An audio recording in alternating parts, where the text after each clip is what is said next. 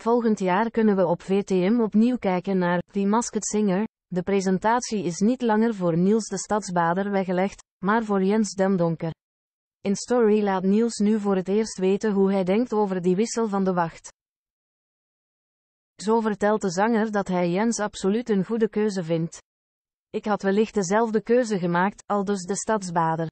Hij is er ook van overtuigd dat Jens Damdonker zijn rol als presentator zeer goed zal doen. Jens heeft als speurder een rechtstreekse band met het programma en hij is grappig, vindt Niels. Hij geeft dan ook met plezier de fakkel door aan Damdonker. Die Masked Singer is bij hem in goede handen, besluit de presentator.